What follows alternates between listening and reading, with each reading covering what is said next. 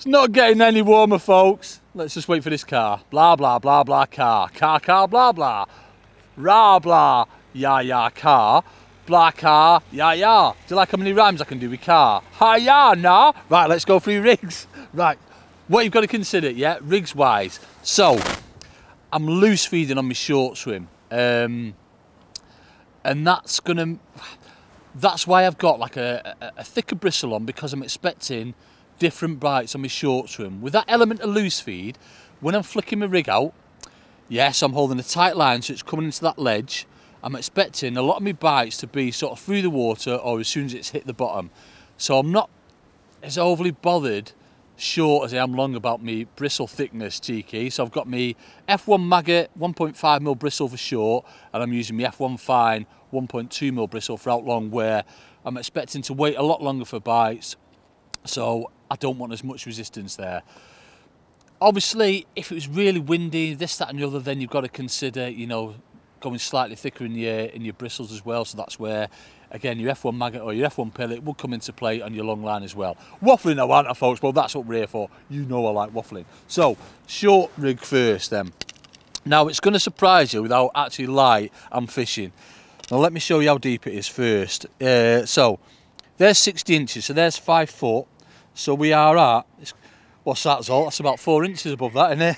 it's, it's not Zolt's four inches, folks, but that's for another day.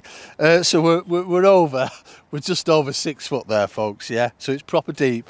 And I've only got on a 412, as I said, F1 maggot float. Now, I won't lie, I've had to add a little bit of line.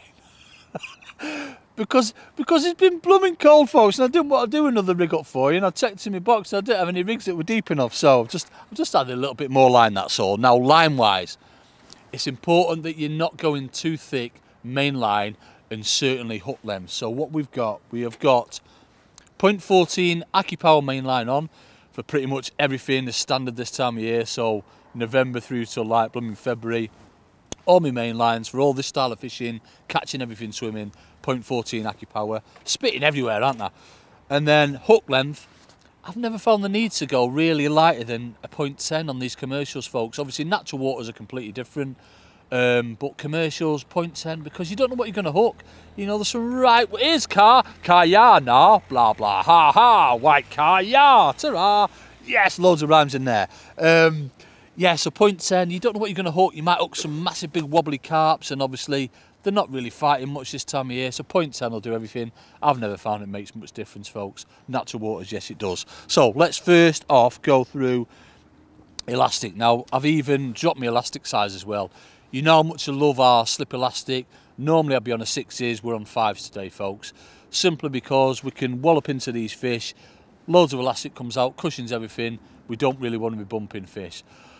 I probably said it now though folks and I'm going to bump loads of fish aren't I? Because I always do, it's going to happen. Um, but that's why we want a nice soft elastic. Now I've had a lot of you ask how I actually attach these so I'm just going to briefly just run you through it. So all we've got, we've got our smallest Dacron, uh, the actual bead of there, pressing Dacrons there, take the Dacron out, slide the bead up your elastic, it's two overhand turns on your elastic, pull it tight, trim the knots off, uh, sorry, trim the elastic back. So you're left with that. It's basically a crow's foot. Put your line over the top and then that comes back and attaches it over. It's so neat. I don't like using connectors or um, this, that and the other because, well, it's one of them. There's not wrong with them, but it's just personal preference at the end of the day, folks. Waffling again, aren't they? So, yeah, 0.14 main line. Coming down the rig, so you can see like where I've attached the line to the line. Back shots as always, folks, you know, massive for that. So two number eights back shots, four or five inches above the float. 412's F1 maggot. I've explained why, slightly thicker bristle, different bites. And then coming down the rig, now this is the important thing here, folks. So I love fishing like bulk and droppers, get job done when there's a lot of fish there, but there's no no room for that in my armory sort of this time of year, folks. I want to, everything's going to be spread out or tapered. So all we've got here is a series of number 10 shots tapered through the rig. So obviously, let's start from this end. Um, we've got a size 18 SFLB hook, 4 inches of 0.10 AccuPower line, and then it's number 10.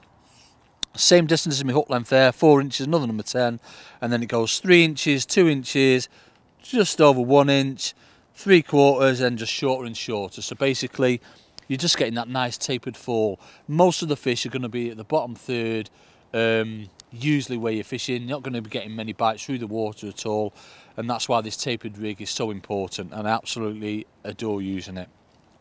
So that's my short swim. Now, my long swim, so that's my top kit and three, where I'm just on a slope, probably about a foot up from where the slope ends and it goes to the silt. My long swim is, it's about four inches deeper, I'm going to say, and I'm proper on the silt here. Yeah, so there's where's five foot. There's there's 60 inches, five foot. So my short swim was probably here. So yeah, it's probably yeah, about five or six inches deeper. Now, different float on this one.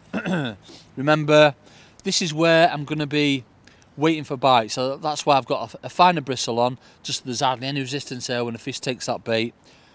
I forgot to tell you where I plumbed up to, didn't I? Both both swimmers, folks, on the slope I plumbed up to the middle of the body, and on this one I plumbed up sort of like maybe a little bit further down. Because we're on silt, but obviously silt's not going to play a, a big role or anything like that. I've just gone a little bit further down, more to cope with the wind. Even though the wind's on my back, it's still a bit, little bit tiny ripply out there. So I've just gone that little bit deeper.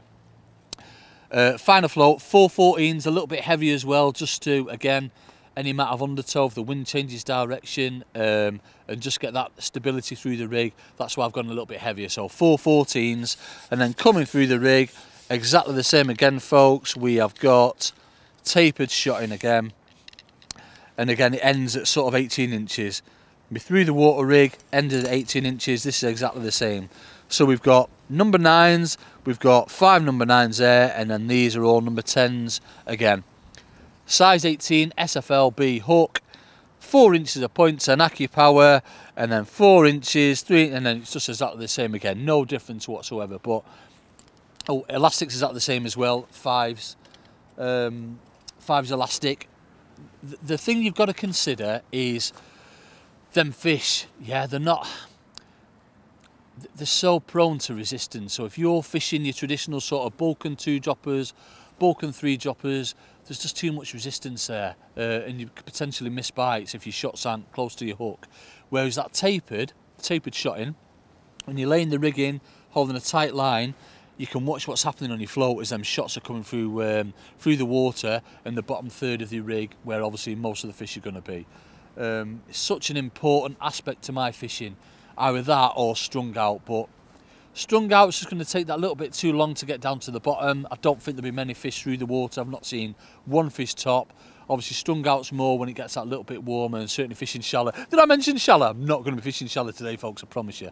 Um, so yeah getting that tapered shot on if you've not tried it. But uh, as far as uh, everything else goes I think we need to go and catch some fishes now folks and show that everything I've been waffling about for the last however long actually works. Yeah